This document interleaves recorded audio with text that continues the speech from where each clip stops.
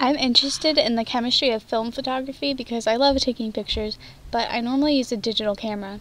I've always been curious about how film photography works, so I decided that I wanted to learn more about it.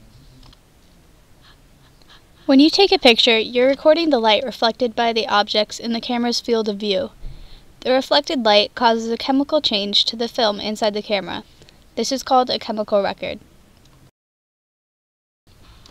Light is not a particle or a wave, but it has properties of both. The sun's energy comes to the earth in visible and invisible portions on the electromagnetic spectrum. Its energy is distributed in photons.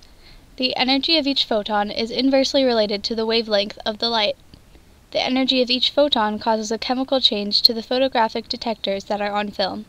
Materials can be chemically stable until they are exposed to light by careful engineering.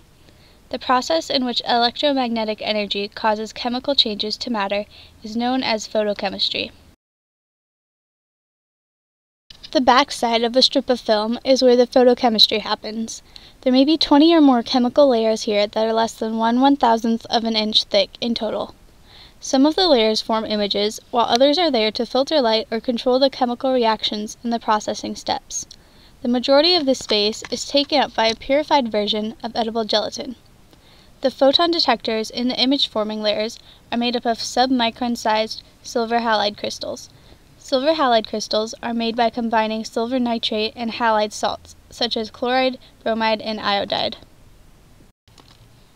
The crystals are chemically modified to increase their light sensitivity by adding spectral sensitizers.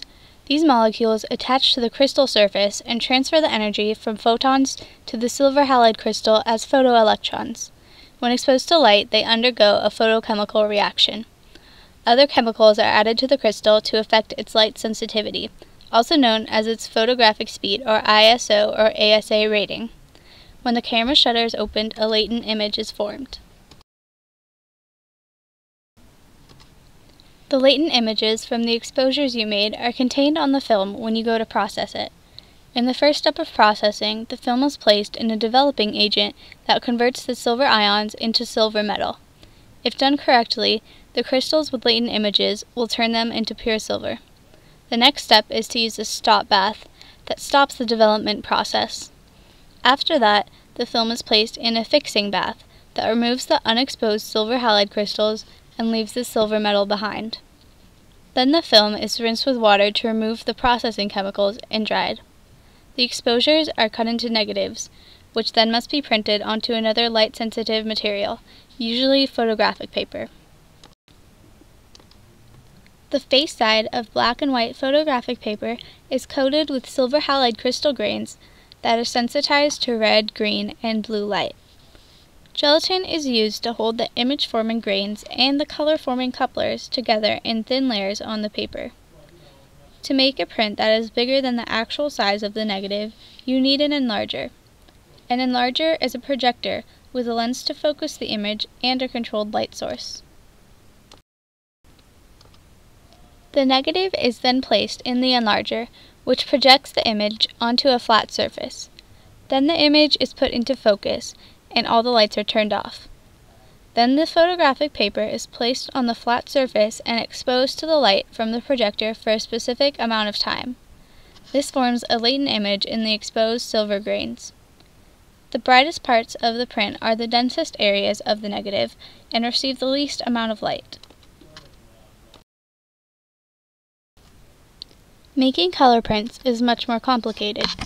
First, rolls of color paper are loaded into a printer. Then the roll of negatives is loaded and the printer previews each negative and makes adjustments to the color balance in case they were exposed incorrectly. To develop the images, the oxidized developer molecules combine with the color-forming couplers to create a silver image and a dye image, and the reaction is stopped by a stop bath. The silver image and any unexposed silver halide are removed in a bleach solution then the print is rinsed to get rid of the chemicals and dried.